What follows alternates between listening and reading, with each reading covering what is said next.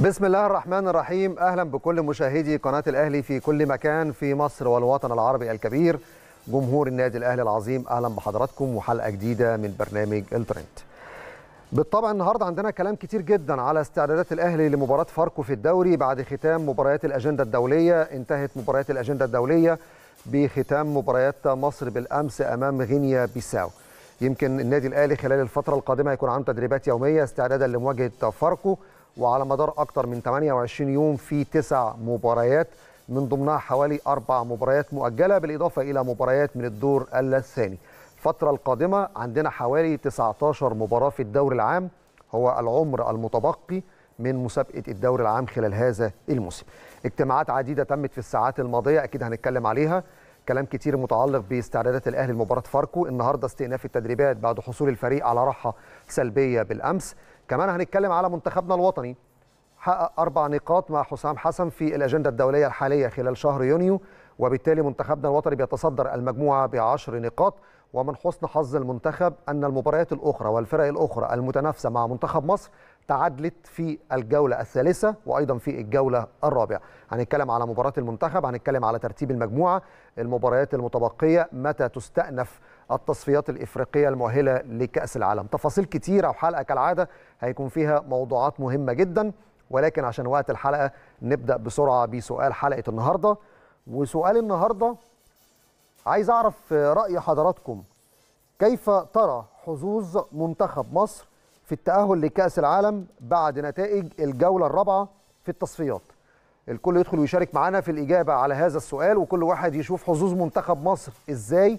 بعد النتائج اللي اتحققت في الجولة الثالثة والجولة الرابعة وهنستعرض كل ده بالتأكيد في الجزء الأخير من برنامج الترند. لكن سؤال أكيد من خلاله هنقدر كده نعرف ردود الأفعال ورأي الشارع الرياضي المصري في حظوظ منتخبنا في التصفيات اللي بالتأكيد كلنا شايفينها تصفيات يعني لا ترتقي حتى إن هي تكون متوسطة المستوى. هي أقل من المتوسط أكيد.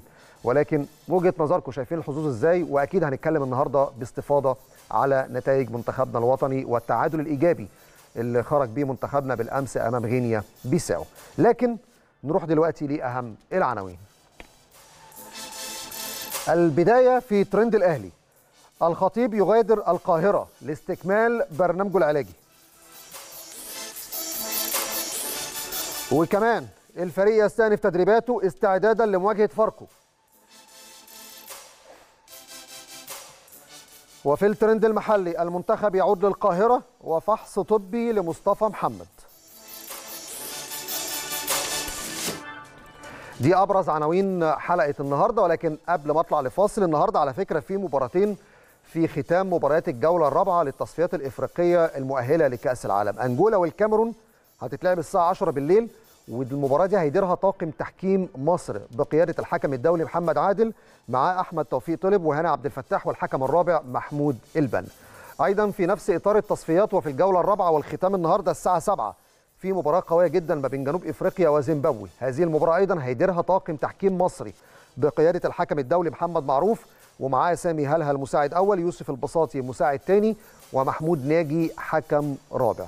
بالمناسبة المباراة دي فيها طاقم مصري وفيها طاقم احتياطي من موزمبيق. إزاي وليه؟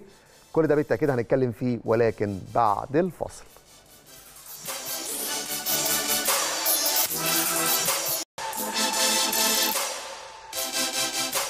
بالأمس كان في اجتماع هام جدا لمجلس إدارة النادي الأهلي برئاسة الكابتن محمود الخطيب وعدد من أعضاء مجلس الإدارة اللي كانوا حاضرين بالأمس اجتماع يمكن امبارح كان في عدة اجتماعات في النادي الأهلي ولكن عايز أبدأ أتكلم على اجتماع مجلس إدارة النادي الأهلي وعلى هامش هذا الاجتماع بالمناسبة يعني كان في احتفالية كده وتورتة بسيطة واحتفال عيد ميلاد بعيد ميلاد المهندس محمد سراج الدين عضو مجلس إدارة النادي الأهلي. طيب بالأمس مجلس إدارة النادي الأهلي برئاسة الكابتن محمود الخطيب اعتمد في اجتماعه تقرير اللجنة المشكلة من قبل مجلس الإدارة بتاريخ 10 يناير 2024. هذه اللجنة وهذا القرار واعتماد تقريرها الخاص بإعادة هيكلة عمل مجموعة الوحدة الاقتصادية بالتعاون مع شركة استادات الوطنية للاستثمار الرياضي بالإضافة إلى إعادة هيكلة قناة الأهلي المملوكة لشركة الأهلي للإنتاج الإعلامي بالتعاون مع Presentation Live يمكن ده أول قرار صدر بالأمس من مجلس إدارة النادي الأهلي. بعد نهاية الاجتماع على طول يمكن أعلن النادي الأهلي عن مغادرة الكابتن محمود الخطيب رئيس النادي الأهلي خلال الساعات القليلة القادمة لاستكمال برنامجه العلاجي الذي تأجل لما يزيد عن 8 أشهر. وذلك بعدما قام الكابتن محمود الخطيب في شهر أكتوبر الماضي بقطع رحلته العلاجية الأخيرة والعودة للقاهرة بعد الأزمة الصحية التي مر بها الراحل الوزير العمري فاروق نائب رئيس النادي الأهلي. ونظرا لهذه الظروف الصعبة اضطر الكابتن محمود الخطيب للبقاء في النادي الأهلي وفي مصر خلال الأشهر الماضية وعدم تنفيذ هذا البرنامج العلاجي. هذا البرنامج العلاجي اللي كان بيستلزم سفر الكابتن محمود الخطيب وابتعاده عن أي ضغوط نفسية أو مرتبطة بالعمل وفقا لتعليمات الأطباء لما مدة تصل حوالي ست شهور.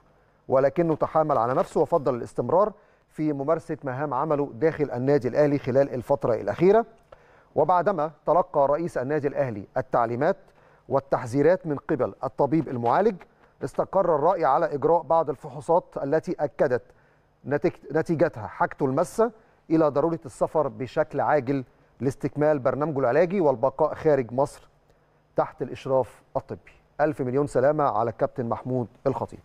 طيب دي اجتماعات الأمس بالنسبة لمجلس إدارة النادي الأهلي. قبل اجتماعات مجلس الإدارة قبل ما أروح بقى لتدريب الفريق كانت في اجتماعات كده مش هتكلم عليها كتير وبتفاصيل كتير لأنها لم تعلن بشكل رسمي. ولكن أنا من يوم السبت اللي فات والحد اللي فات بقول لحضراتكم في اجتماعات الأسبوع ده للجنة التخطيط وللكابتن محمود الخطيب مع مارسيل كولر. وبالفعل على مدار ثلاث أيام كان في اجتماع للجنة التخطيط مع الكابتن خالد بيبو. واللجنة على فكرة كان عندها اجتماعات أخرى مع قطاعات مختلفة في قطاع الكورة. والاجتماع ده حضره الكابتن محمود الخطيب والكابتن حسام غالي. وكان في اجتماع آخر للجنة التخطيط بوجود الكابتن محمود الخطيب والكابتن حسام غالي مع مارسيل كولر. وعايز أكد لحضراتكم من غير ما أحلف ومن غير ما أقسم والله يا جماعة يعني الناس بتضطر إن إحنا نحلف على حاجات إحنا بنسمعها بتبقى غلط.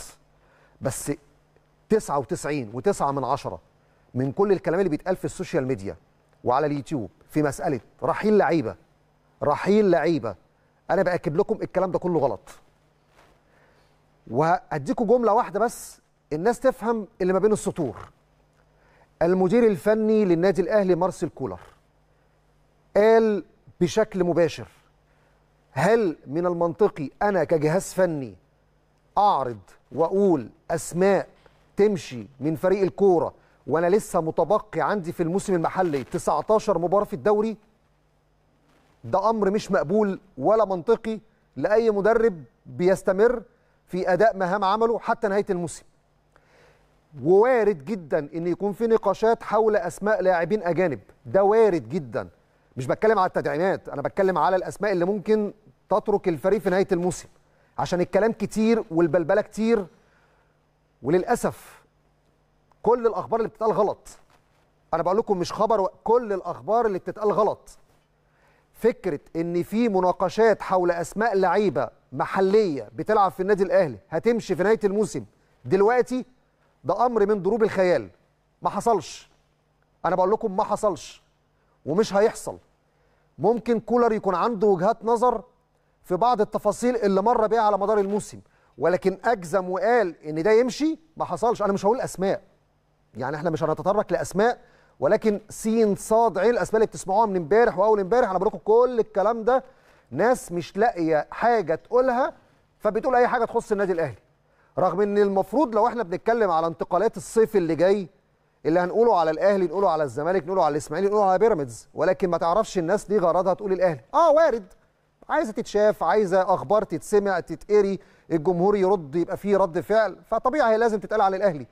ولكن اللي عنده مادة هيقدر يشتغل على الأهلي وعلى الزمالك وعلى الإسماعيلي وعلى بيراميدز. لكن عشان عايزين نعمل فرقعة ونعمل بوم في الوسط الإعلامي نتكلم على الأهلي. قعدنا نتكلم أيام كتير على الصفقات واتقالت أسماء كتيرة وأسماء منها أصلا مش جاية.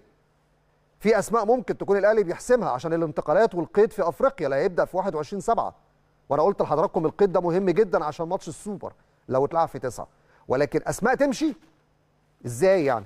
ده لسه عندي ماتش الزمالك يوم 25 6 همشي لعيبة دلوقتي وأنا لسه عندي ماتش 25 6 ده حتى فكرة أسماء اللعيبة اللي انتهت إعارتها وراجعة للنادي الأهلي ما اتخذش فيها موقف أصلا رسمي إن هي ممكن تتأيد السنة الجاية ولا لأ لأن لسه حتى بتلعب مع أندية الموسم بتاعها مستمر. يعني يا جماعة الكلام اللي بيتقال لازم الناس توزنه قبل ما تقوله. مسموح إنك ممكن تتكلم على صفقات أجانب. لعيبة أجانب ممكن تيجي. ده مسموح. لكن تتكلم على لعيبة ممكن تمشي من فرقة الكورة وفرقة الكورة لسه عندها 19 ماتش في الدوري ده كلام فاضي وكلام فارغ لناس ما اشتغلتش في المهنة دي بقى لها سنين ماتش الزمالك اللي جاي لما أنا هقول في أربعة خمسة من الأسماء اللي بتطرح على ال social media أنا مش عايزها، طب هعتمد عليها إزاي في ماتش الزمالك؟ هيئها إزاي لماتشات الدوري اللي متبقية؟ عند ماتش بيراميدز يوم 12 7 كلام كله الهدف منه ضرب استقرار فريق النادي الأهلي. أنا بقولها لحضراتكم بصوت عالي وبطمن جمهور الأهلي. ما تصدقوش اللي بيتقال بره. ما تصدقوش اللي بيتقال بره، اللي بيتقال بره بيبقى ليه حاجة من الاتنين. يا إما فرقعة إعلامية لناس ما بتتشافش عايزة تتشاف يا إما الحاجة الثانية ضرب استقراري للفريق لأهداف شخصية باختصار هما الجملتين دول اسمعوهم واستنوا وشوفوا في نهاية الموسم النتيجة وانتوا عارفين الحمد لله الكلمة هنا اللي بنقولها بعد أيام وشهور بتحصل فركزوا في الكلمتين دول ونرجع ونيجي نيجي يعني نتحاسب بقى في شهر 8 نشوف اللي اتقال ده صح ولا غلط. والأيام مش بعيدة الأيام قريبة. طيب فرقة الكورة عندها ماتش مهم جدا مع فاركو يوم الجمعة اللي جاية. وبعد فترة من الاحتفالات بالبطولة الإفريقية أمام الترجي التونسي من 25 5 خدنا وقت شوية احتفلنا بدوري الأبطال والتأهل لبطولة فيفا انتر كونتيننتال عام 2024 ولكن كيف يستعد كولر لمباراة فاركو؟ اللعيبة الدولية اللي وصلت النهارده صباح اليوم الراحة بتاعتها هتبقى قد إيه؟ هل في إمكانية إن بيرسي تاو اللي هيلعب النهارده مع جنوب إفريقيا يلحق مباراة فاركو ولا لأ؟ النهارده التدريب هيكون الساعة كام؟ كل التفاصيل دي بالتأكيد محتاجين نعرفها من خلال زميلنا كريم أحمد موفد قناة الأهلي اللي متواجد حاليا في المقر التاريخي اللي قدامكم على الشاشة دلوقتي في منطقة الزمالك مقر النادي الأهلي في الجزيرة. عشان نعرف من خلاله آخر الأخبار والمستجدات والجديد داخل فريق الكورة والتدريبات اللي هتنطلق إن شاء الله بعد قليل بعد راحة سلبية منحها بالأمس مارسيل كولر. مساء الفل يا كريم. مساء الخير عليك زميلي العزيز محمد سعيد كل التحية ليك ولكل مشاهدينا وكل جمهور النادي الأهلي في كل مكان.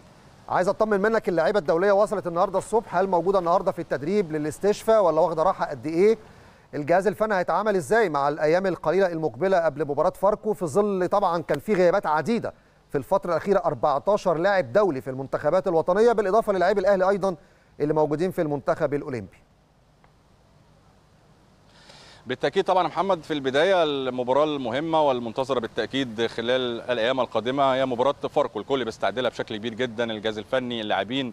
زي ما انت قلت يا محمد لعيبتنا يمكن لاعبين المنتخب الوطني وصلوا صباح اليوم لكن النهارده منتظرين نشوفهم. لكن بالتأكيد يا محمد مستر كولر هيدي راحة النهارده بالنسبة لكل المجموعة لأن انت عارف طبعا رحلة السفر والاجهاد الكبير جدا على أن يكونوا بمشيئة الله غدا في التدريب الفريق النادي الأهلي يكون أيضا كمان في تمام الساعة السادسة. ده أمر مهم جدا إن انت تطمن على حالة اللاعبين. شفنا الجو والطقس الالتحامات كانت قوية جدا مباراتين في وقت قليل جدا فيهم مجهود كبير يا محمد. فعشان كده الحقيقة كان في مجهود كبير من الجهاز الطبي إن أنت تتابع لحظة بلحظة كل اللاعبين مين بيشعر باجهاد مين عنده أي شيء عشان إحنا عندنا مشوار مهم جدا وعندنا مرحلة مهمة جدا خلال الفترة القادمة. مجموعة كانت كبيرة متواجدة في منتخباتنا الوطنية لكن الحمد لله يعني بشكل عام قدرنا إن إحنا نطمن كده لكل اللعيبة اللي كانت في المنتخب. الحمد لله ما فيش أي شيء وده كان أمر مهم لأن هي مرحلة تحدي كبيرة محمد خلال الفترة القادمة. لكن اللي إحنا هنقوله في البداية إن لعيبتنا النهارده لعيبتنا لعيبة النادي الأهلي طبعا العائدة من المنتخب هتاخد راحة ومن بعدها إن شاء الله بإذن الله يكونوا متواجدين في تدريب الغد. هيكون أيضا كمان ليهم جرعات تدريبية متفرقة على حسب المجهودات وعلى حسب اللعيبة اللي لعبت خلال المباراتين الماضيتين. في لعيبة ما شاركتش في لعيبة شاركت بتوقيتات مختلفة. في يعني دراسة كبيرة جدا للموقف الطبي وتوزيع الجرعات التدريبية بيكون مهم جدا لضيق الوقت. ممكن تستعين ببعض اللاعبين في مباراة فاركو وممكن يكون لعيبه على دكة البدلاء شاركوا في المباراة. ده أمر مهم لكن هنشوف أيضا كمان النهارده في التدريبات شكل التدريب يكون عامل إزاي؟ النهارده كالعادة التدريب يكون في تمام الساعة السادسة الطقس الحقيقة الحرارة الشديدة مستمرة مع النادي الأهلي في تدريباته لكن بيستر كولر على طول بيحاول إن هو يبدأ تدريب 6 أو 6 ونص على حسب طبعا حرارة الجو وقوة الشمس الحقيقة لكن إن شاء الله بإذن الله يبدأ في ميعاده. يمكن عايز أقول لك يا محمد مباراة النجوم الودية الأخيرة اللي يمكن كانت مهمة جدا لفريق النادي الأهلي فيها مكاسب عديدة جدا رغم العدد رغم إن أنت ما كانش عندك عدد كبير من اللاعبين لكن هي لها مكاسب بالنسبة للجهاز الفني. الراجل شاف كل اللعيبة شاف التكتيك اللي بيحاول إن هو هو يطبقه في المحاضرات يطبقه في العملي. كانت بالنسبة للنادي الأهلي مباراة مهمة عشان كمان حساسيه المباريات. فترة كبيرة جدا ما بتشاركش في المباريات فلازم تكون إن أنت بشارك. حتى كمان إن أنت مهم مش نتيجة. أنت عارف أهم من النتيجة هي الأداء. اللعيبة أدت إزاي نفذت الجانب التكتيكي إزاي فده كان أمر مهم جدا. ومن بعدها كانت راحة كالعادة 24 ساعة لفريق النادي الأهلي. ويستأنف النهارده زي ما أنت قلت يا محمد التدريبات. الأمور طيبة جدا. مستر كولر في هذا التوقيت يا محمد في محاضرة فنية للاعبي النادي الأهلي. راجل بيدرس المباريات الخاصة بفريق فاركو بيحاول إن هو يجمع بعض الهايلايتس يفرج اللعيبة عليه وبينزل في تدريبات يطبق منها جزء وبعد التدريب الثاني على طول بيطبق جزء ثاني الأمور طيبة محمد بشكل كبير لكن كمان حابين نطمن على وسام أبو علي كمان ونطمن كل جمهور النادي الأهلي عليه. يمكن الناس اتكلمت على وسام وعلى الإصابة الحقيقة يمكن التواف الكاحل وكدمة في مشط القدم يعني هتاخد وقت يا محمد شوية يعني نقدر نقول أسبوعين فيعني بناء عليه ممكن يغيب من خلال الثلاث مباريات القادمة. فإن شاء الله وسام الحقيقة من الإضافات القوية جدا لكن ثقتنا كبيرة في المجموعة المتواجدة سواء كهربا سواء موديست سواء أيضا كمان أنت اتكلمت على بيرسي تاو هيشارك النهارده في المباراة. يعني محمد لسه كمان مع العودة أنت عارف مستر كولر بيحاول إن هو يكون اللعيب اللي بيشارك في القائمه أو يكون متواجد تحديدا في مباراة فاركو يكون جاهز بنسبة 150% من الناحية البدنية. فمن يعني من المتوقع إن بيرسي تاو ممكن يتجنب شوية من المشاركة كأساسي أو على دكة البدلاء لكن كل الأمور دي مش عايزين نسبق الأحداث محمد. منتظرين بس بيرسي تاو يصل نشوف حالته الفنية عاملة إزاي حالته البدنية عاملة إزاي. لكن بعيدا عن كل هذه الأمور الحمد لله الأمور ماشية بشكل مطمئن وجيد جدا بالنسبة للاستعداد. إن شاء الله بإذن الله يكون تدريب جيد النهارده لفريق النادي الأهلي والكل يستفيد من هذه التدريب. طيب كريم عايز أسألك على وسام أبو علي. وصل القاهرة وأنت اتكلمت على إصابته وفترة غيابه. يعني كان الكلام كتير قوي في مده الغياب. عندك رقم محدد أو الجهاز الطبي طمنك؟ وفي نفس الوقت وسام وصل القاهرة من قطر لأن خلاص أكيد مش هيسافر مع فلسطين إلى أستراليا. هو خلاص يا محمد يعني المتفق عليه إن هو هيتابع التأهيل بتاعه هنا في القاهرة طبعا مع الدكتور أحمد جاب الله طبعا ده أمر كان مهم جدا إن أنت تتابعه. هي الكدمة والتواء في الكاحل يعني بتكون يا محمد من أسبوع لأسبوعين أو ل 15 يوم على حسب قوة الضربة. لكن أنت عارف زي ما بقول لك الجهاز الطبي بيكون في تأني كبير جدا. لما حتى الإصابة بتكون كدمة بتستغرق 10 أيام. الراجل بيحاول إن هو يدخل اللعيب تدريجي في تمرينة واثنين وثلاثة. عشان كده بنقول أسبوعين تصل المدة إلى أسبوعين لوسام أبو علي. هي الحمد لله الكدمة يعني آه مش قوية لكن كدمة مؤثرة الحقيقة في أنكل القدم وكمان في مشط الرجل. لكن زي ما بقول لك الراجل هيكون متواجد في التأهيل مع الجهاز الطبي للنادي الأهلي يستكمل التدريب الخاص به والفقرة طبعا الموضوعة له أو التأهيل اللي موضوع له. لكن إن شاء الله بإذن الله بنتمنى له العودة السريعة وسام اللعيبة المقاتلين الحقيقة. إن شاء الله بإذن الله يكون مع صفوف فريق النادي الأهلي. لكن أنت عارف محمد مع قرب المباريات كل 48 ساعة مباراة وكل 3 أيام مباراة فعشان كده بنقول هيغيب عن أكثر من مباراة. فاركو هيغيب عنها الاتحاد عندك كمان الداخلية كل الثلاث مباريات دول في خلال ال 14 أو ال 15 يوم القادمين. عشان كده بنقول الأزمة كلها بس إن أنت هيبقى عندك غياب في ثلاث مباريات مهمين جدا وإحنا بنحاول إن إحنا نجمع نقاط في كل المباريات بتخش كل مباراة لمستر كولر ولاعيبة النادي الأهلي هي مباراة كأس لأن إحنا عندنا عدد كبير من المباريات. عايزين إن إحنا نلم نقاط خلال الفترة القادمة لكن إن شاء الله بإذن الله زي ما بنقول سكواد النادي الأهلي الحقيقة في لعيبة مميزين جدا. مين هيكون متواجد؟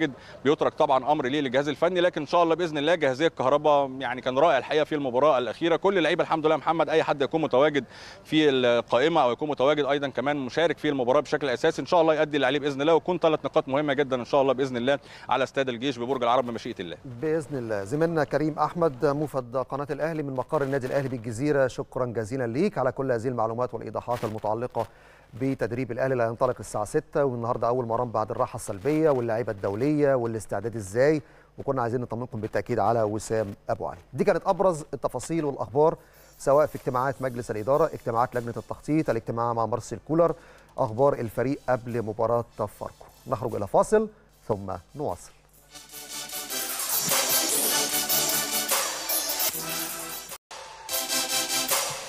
طيب منتخبنا لعب بالأمس مباراة هامة جدا في التصفيات الإفريقية المؤهلة لكأس العالم. تعادل إيجابي مع غينيا بيساو بعد ما كنا متأخرين بهدف مقابل لا شيء. نجح محمد صلاح في إحراز هدف التعادل في منتصف الشوط الثاني. من حسن حظ منتخبنا بوركينا فاسو في مالي اتعادلت على أرضها لأن بوركينا ما بتلعبش على أرضها بتلعب في مالي فتعادلت 2-2 مع سيراليون. من حسن حظنا أيضا إن قبلها بيوم إثيوبيا وجيبوتي اتعادلوا إيجابي 1-1 واحد واحد. فنطاق شكل ترتيب المجموعة كله بيخدم مصالح منتخبنا الوطني في التصفيات. مصر 10 نقاط غينيا بيساو 6 نقاط بوركينا وسيراليون 5 نقاط. فبالتالي في ابتعاد بعدد من نقاط جيدة لمنتخبنا بعد أربع مباريات من التصفيات وباقي ست جولات هيتلعبوا بالتأكيد في 2025 أهو على الشاشة ده ترتيب مجموعة مصر 10 6 5 5 3 إثيوبيا ونقطة فريق جيبوتي. أعتقد يعني مجموعة في المتناول. ولكن أداء المنتخب تشكيل المنتخب تغيير طريقة اللعب هل المنتخب نجح في الأهداف بتاعته ولكن لسه هناك ملاحظات على المستوى الفني؟ كل ده بالتأكيد محتاجين نتناقش فيه ونسمع رأي أحد كباتن منتخب مصر والنادي الأهلي الكابتن أسامة عرابي. كابتن أسامة مساء الفل. مساء الفل. أهلا أهلا وسهلا بك يا محمد واهلا وسهلا بالساده المشاهدين تحياتنا لحضرتك وكنا عايزين نسمع منك بقى رؤية فنية كده لأداء المنتخب وطريقة اللعب اللي لعب بها حسام حسن في مباراة غينيا بيساو بالمقارنة بمباراة بوركينا. هل حقق الهدف بالنقاط الإيجابية ولا المنتخب محتاج أمور فنية أفضل من كده في الأيام اللي جاية؟ لا هو من حيث تحقيق الهدف الهدف اتحقق بنسبة كبيرة جدا. م. وأعتقد إن إحنا يعني إن شاء الله قاب قوسين أو ادنى إن شاء الله من الوصول لكأس العالم. آآ آآ منتخب مصر خبرته أكبر إمكانيات لعيبته أكبر من كل فرق المجموعة وواضح بمسافة يعني. فإن شاء الله حسام حسن وكل الجهاز المعاون اللي معاه قادرين إنه يوصلوا كأس عالم. وإن شاء الله الأداء يتحسن من مباراة الاخرى لأنه خلي بالك برضو هو حسام مش جاي من فترة طويلة. في مراكز بعض المراكز فيها مشاكل شوية بالنسبة للمنتخب المصري. مش حتى مع حسام حتى في الفترات السابقة مع سواء كيروش أو مع فيتوريا. فدخول عناصر جديدة وانك يعني العناصر كلها تكتمل في كل المراكز هتاخد وقت شوية لكن هو الكويس إن إحنا الحمد لله بنكسب وإمبارح مثلا تعادلنا مع غينيا ماشيين بخطى ثابتة وإنت زي ما قلت في التعليق آه الحمد لله كمان الفرق الأخرى آه بتتعادل آه ف ف ف فإحنا عندنا ماتش والأمور آه زي ما هي. يعني إحنا ما تعادلناش مثلا وبوركينا كسب امبارح أو آه وهو ده اقرب منتخب ممكن ينافسنا شوية صحيح. هو ومنتخب الغيني يعني. لكن آه ما اعتقدش ان اثيوبيا وجيبوتي وسيراليون يعني هيبقى يمكن يعطلوا في بونت مع حد أو حاجة. لكن ما عندهمش فرص انه يوصلوا في المجموعة دي. فان شاء الله مصر هتوصل. بالنسبة بقى للشغل الفني هو اختلف الماتش من بوركينا لل لغينيا ماتشين طبعا في أربع أيام تقريبا أو خمس أيام. الماتش الأولاني لعبنا 3 4 3 أو 3 أو 3 5 2 بوجود حمدي فتحي جنب محمد عبد المنعم ورامي. امبارح لعبنا أربعة يعتبر أربعة أربعة اثنين أو أربعة يعني هو مأخر محمد صلاح تحت تحت مصطفى محمد قبل ما يصاب. وبيلعب رجع محمد حمدي back left في الشكل الطبيعي لأنه ماتش هنا كنا زي ما بقول لك بنلعب ثلاثة في القلب. ومحمد عبد المنعم ورامي وهاني وكان في النص حمدي فتحي رجع لنص الملعب هو ومروان. و في رباع قدام زيزو ناحية اليمين تريزيجيه ناحية الشمال وصلاح تحت راس الحرب. آه تحت راس الحرب. يعني تقدر تقول عليها يعني 4 4 2 4 2 3 1 يعني ايا كانت صلاح بيلعب ل... ل... راس حربه متأخر شوية طب ف... ايا كانت الطريقة يا كابتن أسامة؟ معلش أنا آسف بس عايز أقطعك في الحتة دي. ايا آه كانت الطريقة. ولكن هل أداء محمد حمدي في المركز الظهير الأيسر ظهر بشكل كويس؟ هل لا. تواجد زيزو مع محمد صلاح والاثنين تحس إن في لخبطة في المهام الهجومية؟ ده في مصل...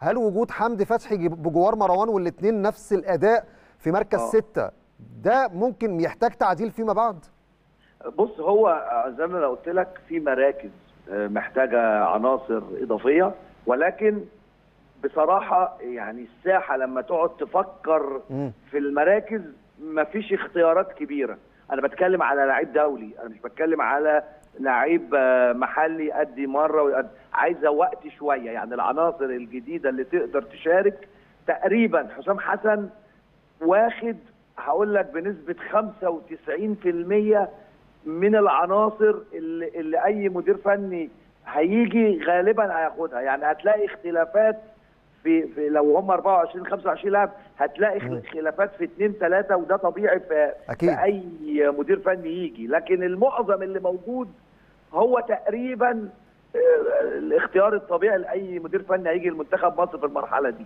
آه، انت عندك بعض المشاكل في زي ما قلت لك في بعض الأماكن منها ال- المركز آه، الظهير. الأيسر خاصة بعد إصابة آه، فتوح. وجود محمد حمدي بعد الوقف اللي فات امبارح يمكن ما كانش موفق لكن في ماتشات قبل كده أدى فيها بشكل كويس آه، عندك مشكلة شوية في مركز راس الحربة لما بيحصل مشكلة فيه ما فيش لسه حد واضح بعد مصطفى محمد. يمكن أقربهم من وجهة نظر أنا محمد شريف لكن لسه الباقيين عايزين ياخدوا خبرات. بس كانت في مفاجأة يا كابتن أسامة.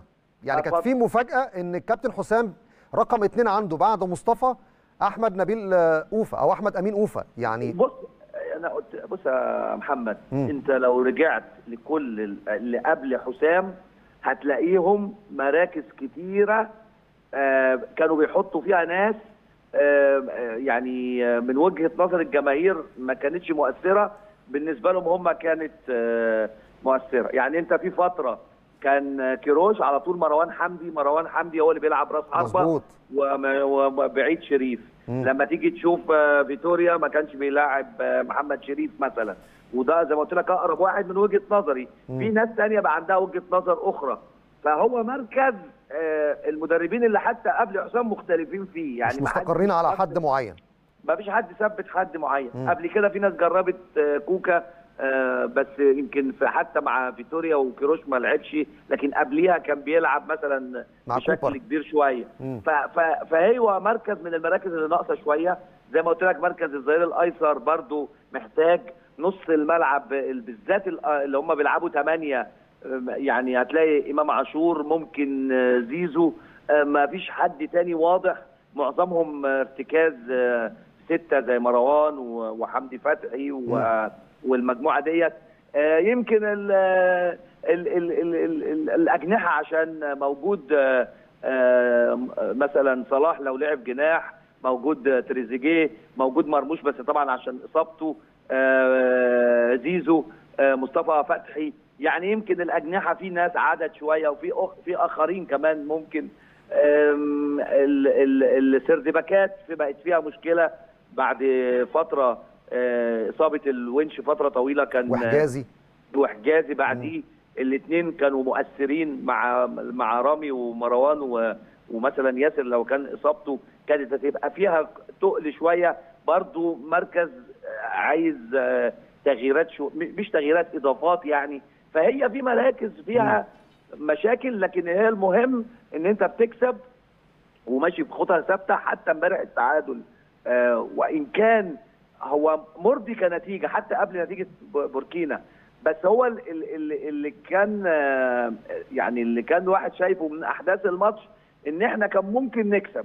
يعني فرق فرقة آه، غينيا بيساو مستسلمة. ما تحسش إن هي عندها خايفة قوي قوي من منتخب مصر وما تحسش إن هي يعني حتى جونهم جه بهجمة وحيدة يمكن في ال 90 دقيقة وما كانتش هجمة خطيرة قوي بالظبط. وربنا وفقهم فيها إحنا في آخر آه، آه، بعد ما صلاح اتعادل في آخر ربع ساعه عندنا فرصة نجيب هدف. وتاني آه صلاح كان ممكن يجيب هدف إمام عاشور كان ممكن يجيب هدف ونكسب آه أوفا كان ممكن يجيب هدف ونكسب يعني كان لينا ثلاث أربع فرص فأنا شايف إنه إن شاء الله بإذن الله بإذن الله. إحنا هنوصل كأس عالم ولكن يعني بوضوح يعني بإذن الله يعني بس هي طبعا عايزة جهد من حسام والجهاز اللي معاون معاه إنه يقدر يبني آه آه سواء في طريقة اللعب سواء. آه في إضافات لعيبة تبقى مؤثرة في المراحل الجاية لأن أي واحد بيتصاب في تقل شوية مش بتلاقي البديل بسهولة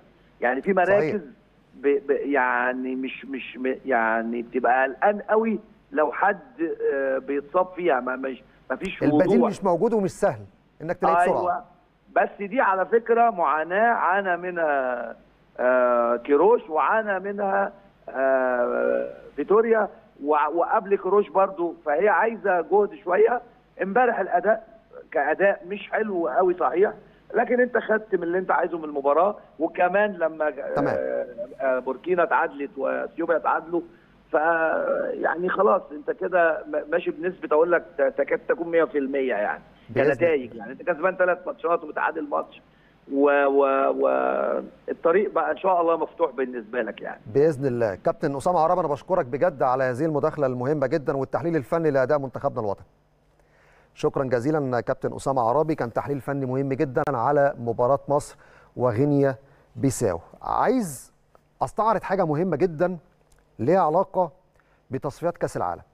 لأن المشوار مش صعب ومش متوسط حتى في الصعوبة. ده درجة المتوسط أو أقل من المتوسط. يعني مثلا إحنا دلوقتي لعبنا أربع مباريات. حققنا من الأربع مباريات ثلاث انتصارات وتعادل فبقينا 10 نقاط. باقي ست مباريات. الست مباريات هيتلعبوا إمتى؟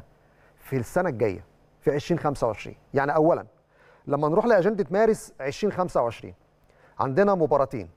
هنلعب مع إثيوبيا دي مباراة خارج مصر والمباراة دي على فكرة مش هتتلعب في أديس أبابا. دلوقتي المباراة دي لو هتحدد ليها مكان حاليا مش في أديس أبابا. الله أعلم في مارس 2025 هل إثيوبيا هيكون ملعبها جاهز ولا مش جاهز. عشان برضو الناس اللي بتبني آراء على مواقف سابقة لا مش صح.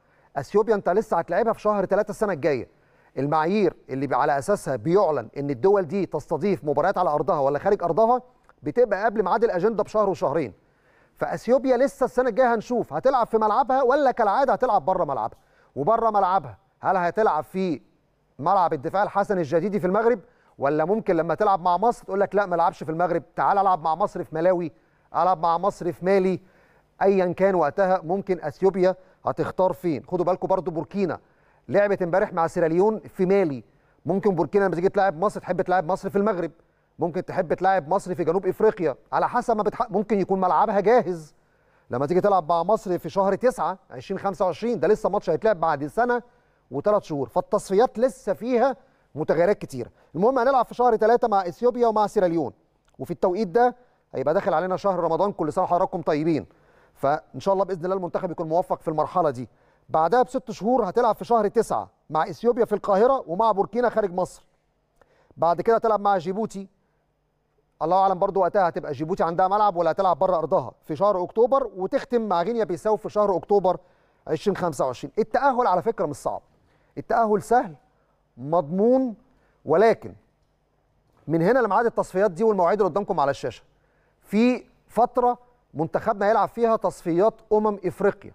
يعني الفترة المتبقية من شهر 6 اللي إحنا فيه دلوقتي لشهر 3 اللي جاي بنتكلم في تسع شهور. التسع شهور دول المنتخب مش أجازة. عشان الناس فاكرة إن المنتخب هيبقى خلاص بقى إيه weekend وحسام حسن ما عندوش حاجة. لا ده هيبقى عنده تصفيات أمم إفريقيا المؤهلة لكأس الأمم في المغرب. التصفيات دي اتحطت واتسكنت رسمي. في ماتشين في شهر 9 في ماتشين في شهر 10 في ماتشين في شهر 11 هتلعب مع مين؟ لسه مش معروف القرعة طبعا هتبقى إمتى وبناء على القرعة هتعرف ماتشاتك اللي جاية دي هتبقى مع مين. ففي الفترة دي هتلعب ست مباريات رسمية قبل ما تروح على أجندة مارس 2025 حاجة أخيرة نختم بيها كلامنا عن المنتخب. كلنا بلا استثناء ودي رسالتي لجهاز المنتخب الوطني بقيادة حسام حسن. مفيش واحد في البلد نفسه إن المنتخب ما يكسبش. مفيش واحد في مصر نفسه إن المنتخب ما يروحش كأس عالم. بالعكس أنت لو سألت أي حد هيقول لك نفسي أروح كأس عالم وانافس على كأس عالم وليه ما اوصلش مربع ذهبي زي منتخب المغرب؟ نفس الأمر على كأس الأمم. كلنا بنتمنى الخير لمنتخب بلدنا لأن ده منتخبنا كلنا. لا في ناس طيبة ولا في ناس شريرة. كلنا في النهاية منتمين لهذا المنتخب ولهذه البلد. ولكن فكرة إن في ناس مش عايزة الخير لجهاز الفني المنتخب مفيش حد طبيعي أو إنسان طبيعي يفكر بالشكل ده. فنظرية المؤامرة أتمنى جهاز المنتخب يشيلها من دماغه. التصفيات سهلة والموضوع سهل ومش عايزين نعقده ومش عايزين نكبر الموضوعات أكبر من حجمها. طبيعي الناس تتفرج وتقول رأيها وطبيعي الناس تنتقد. زي جهاز المنتخب الحالي لما كان بينتقد من شهرين ثلاثة الأجهزة السابقة. ده طبيعي. لكن عندك الحق إنك تقول إن في ناس بتقول أخبار غلط قول فيها زي ما أنت عايز. وإحنا هندعمك ونقول معاك. زي امبارح كان في واحد طالع يقول لك إيه محمد صلاح رفض إنه يخرج من المن... لل... يرفض ينفذ التغيير ورفض ان ينزل مصطفى فتحي مكانه واتعملت كده حكاية وسيناريو على طول جهاز المنتخب نفاه أنا أبقى معاك في الحتة دي ودعم فكرة إن إحنا ننفي الأخبار اللي ممكن تعمل بلبلة. ولكن نقول إن في ناس مش عايزة الخير للجهاز أو للمنتخب لا أنا ضد الكلام ده. نظرية المؤامرة مش مطلوبة والمرحلة اللي إحنا فيها هي أسهل مرحلة للمنتخب الوطني بس الجهاز يشتغل ويركز ويقفل ودنه شوية وما يركزش في اللي بيحصل سواء على المواقع أو حتى في ال social media. دي كانت أبرز الموضوعات اللي عايزين نتكلم فيها على الأهلي وعلى المنتخب الوطني. نخرج إلى فاصل ومن الفاصل نبدأ نشوف آخر أخبار الترند.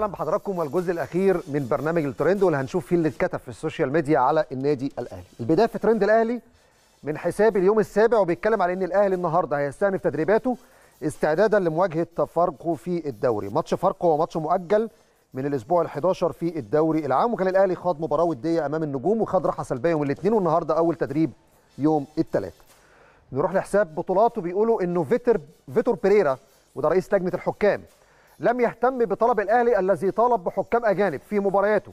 بيريرا لم يناقش هذا الأمر من الأساس مع أعضاء اللجنة ويتجاهل الحديث عنه خاصة أن اللجنة لم تستقبل من اتحاد الكره ما يفيد ذلك. وأنا بقول لحضراتكم الخبر ده عاري تماما من الصحة. فيتور بيريرا في تصريحات للقاهرة 24 في بداية هذا الأسبوع أعلن إنه ما عندوش مانع بوجود حكام أجانب وإن اتحاد الكره قال للجنة الحكام في لائحة فاللجنة ملهاش حق الاعتراض على استخدام حكام أجانب ولكن كل نادي ليه طلب بحكام أجانب بيبقى ليه توقيت معين يطلب فيها الطاقم اللي هيدير اللقاء وكمان بيدفع رقم مالي بيحدده الاتحاد المصري. فبالتالي هذا الخبر غير صحيح وبيريرا أصلا ملوش الحق إنه يرفض. وهي كلها أيام معدودة يعني وهنشوف مستقبله إيه الفترة الجاية في لجنة التحكيم. حساب الوطن الرياضي بيقولوا غيابات الأهلي أمام فاركو. تأكد خروج نجمين من القايمة. وغموض موقف ثلاث لعيبة. قالوا ان علي معلول ووسام أبو علي مصابين فبالتالي دول مش موجودين في المباراة. وفي موقف لثلاث لعيبة مش واضح. بيرسي تاو اليو ديانج النهارده عندهم ماتشات في تصفيات إفريقيا وكمان بيتكلموا على عودتهم لسه هيبقى في الأيام اللي جاية. فبالتالي ده موقف اللعيبة اللي موجودة حاليا في الأجندة الدولية. طيب نروح كمان لحساب كورة بلاس وبيقولوا إن كولر يتمسك بضم كوناتيه. ولجنة التخطيط بالاهلي تعرض عليه بدائل أخرى. الاجتماعات اللي بتحصل في النادي الهدف منها النقاش الفني ما بين اللجنة الفنية لجنة التخطيط اللي فيها الكابتن محسن صالح والكابتن زكريا ناصف ومارسيل كولر. اسم كوناتيه من الأسماء اللي تعارضت واتطرحت ولكن أنا قلت لحضراتكم هنا في نفس المكان لسه بدري على حسم الأسماء دي بشكل نهائي. في ملف ممكن يكون تم إنهائه والإعلان عنه في التوقيت اللي هيشوفه الأهلي. وفي ملفات تانية لسه فيها مناقشات. ولكن محدش يجزم إن في لعيب وقع وجه الأهلي لأن الاجتماعات دي هي اللي هتكون النتيجة للي جاي. وده أنا قلته في أول الأسبوع في حلقة واثنين وثلاثه والنهاردة أهو المواقع بتقول نفس الكلام لأن في ناس متسرعة في الإعلان عن أسماء عشان عايزة تبقى ترند على ال social media وتعمل boom في أخبار ليها علاقة بالأهلي. ملعب القاهره 24 ألقى الضوء على كواليس اجتماع كولر مع لجنة التخطيط في حضور الكابتن محمود الخطيب وده الاجتماع اللي عقد بالأمس. قالوا إن كولر تمسك بالتعاقد مع كوناتيه وطلب ضرورة التعاقد مع ظهير أيسر بديلا لمعلول ورفض التعاقد مع يوسف أيمن مدافع الدحيل القطري وإدى الموافقة على إتمام صفقة الجزائري زين الدين بالعيد واستعرض رؤيته في اللاعبين الراحلين عن الفريق سواء المحليين أو الأجانب. ورشح عدد من الصفقات عن طريق team ال scouting وحصول المدير الفني على نسخة لدراستها. التفاصيل دي تقول لك إن الإعلام كله كان حاضر الاجتماع وشاف كل اللي اتطرح في الاجتماع وكمان جات له خطة العمل للموسم اللي جاي. هي كلمة واحدة بتتقال في الاجتماعات دي ودي اللي ما اتكتبتش. إيه هي؟ أول حاجة بتتقال من المدير الفني طموح الإدارة وطموح النادي إيه للسنة الجاية؟ وعلى هذا الأساس بتبدأ تتناقش وتشوف اللي جاي. طبعا كلام كتير من المكتوب أصلا ما اتطرحش وما اتناقش. وفكرة إن يبقى في استعراض أسماء اللاعبين الراحلين كناحية فنية أنا بقول لكم الكلام ده ما اتقالش. كناحية فنية ما اتقالش مين اللعيبة اللي بتلعب في النادي الأهلي. لعيبة محلية تمشي أنا مش عايزها. ده بالعكس ده كولر قال الملف ده نأجل فيه الكلام شوية لأن لسه عندي 19 مباراة في الدوري وهعتمد على كل اللعيبة. ففي كلام أكيد بيطرح ما بيبقاش صح شوية. الوطن الرياضي بص بقى خلاص كوناتيه مش جاي. فقال لك مهاجم مغربي بديلا لكوناتيه. طب مين المهاجم المغربي اللي سعيد الحظ إن يطرح اسمه في الإعلام المصري؟ المغربي محسن بوريكا مهاجم نادي المغرب الفاسي. ده اسم جديد هتبدأوا تقروه في الأيام اللي جاية بعد اسم كوناتيه ما خلاص اتحرق كتير من طرحه على المواقع وال social media. طيب كرة بلس بيتكلم على تشكيل الأهلي في مباراة فاركو. الشناوي يقترب من العودة لتشكيل الأهلي الأساسي في الدوري بعد أن اطمأن على جاهزيته خلال مشاركته مع المنتخب أمام بوركينا فاسو وغينيا بيساو. شوبير موجود والشناوي موجود. أهم حاجة نقولها للشناوي زي ما هو قالها قبل كده. الحمد لله على السلامة لمحمد الشناوي. طيب نروح بقى للمشاركات والسؤال اللي طرحناه في بداية الحلقة. خصوص منتخبنا في التصفيات دي شايفينها إزاي بعد النتائج اللي اتحققت في الجولة الرابعة؟ هاني شكري بيقول إن شاء الله بعد فوزنا على إثيوبيا يوم 1 9 هو بيتكلم على الجولات الختامية في التصفيات. في 2025 هيكفينا التعادل أمام بوركينا فاسو خارج أرضنا. وده هيبقى ماتش في الجولة الثامنه يوم 8 9 في الجولة الثامنه قبل ماتش جيبوتي وغينيا بيساو في آخر جولتين. يعني هو شايف إن الجولة السابعة والثامنه هي اللي هيكونوا حاسمة في التأهل بإذن الله. تامر بيقول إن شاء الله هنصعد. أهم حاجة نكسب من الست ماتشات الجايين 14 نقطة. يعني بيتكلم على إننا نكسب مثلا أربع مباريات ونتعادل مباراتين. محمد بيقول إن شاء الله مصر في كأس العالم 2026 المهم حسام حسن يجهز منتخب قوي ينافس على كأس الأمم 2025 برافو عليك والله يا محمد. السيد رشاد بيقول إن شاء الله المنتخب يصعد كأس عالم بس بصراحة الأداء ضعيف جدا في آخر مباراتين ومع ذلك كلنا مع حسام حسن من أجل الحلم. ده كان آخر تعليق معايا في التعليقات اللي طرحناها من خلال السؤال اللي اعلنا عنه في بداية الحلقة. في الختام بشكر كل السادة المشاهدين على حسن المتابعة والمشاهدة وغدا لقاء جديد عبر برنامج الترند. شكرا لحضراتكم وإلى اللقاء.